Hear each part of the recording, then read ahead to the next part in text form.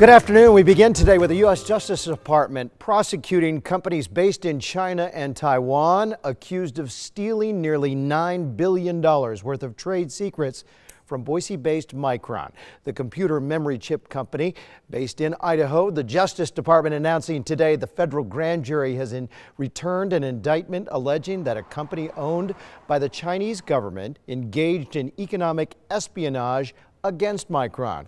Three individuals, all former Micron employees, are also named in the indictment.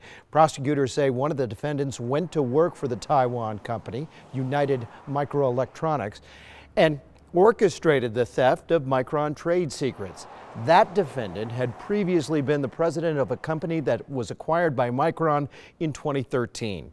The indictment also alleges that the Taiwanese company partnered with the Chinese government owned companies so China could steal Micron's computer memory technology and use it to compete against the United States. Attorney General Jeff Sessions called the intellectual property theft alleged in the indictment a quote threat, threat to our national security.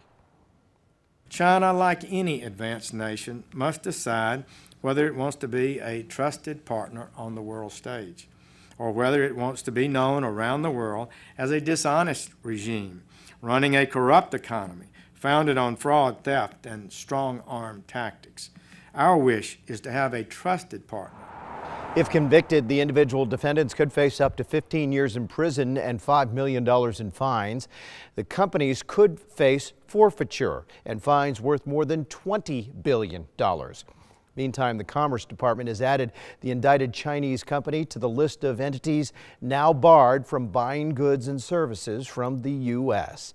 Micron today says the three former Micron employees named in the indictment are former Micron Memory Taiwan chair Stephen Chen and engineers J.T. Ho and Kenny Wang.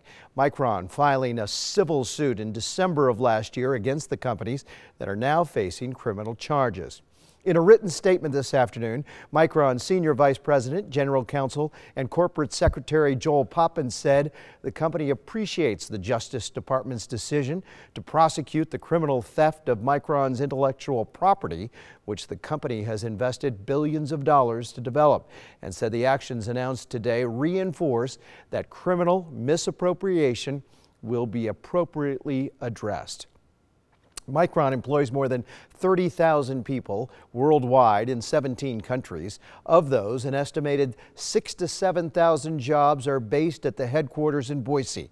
But Micron may soon move some of those jobs out of town. We contacted the company about rumors of layoffs in Boise. Micron sent us this statement saying that the company remains committed to Idaho as the company's global headquarters, but certain functions that have taken place here are being consolidated to Micron's DRAM centers of excellence in Taiwan and Virginia. Micron did not say how many jobs will be affected. We'll have more on all of this coming up tonight on the news at 10.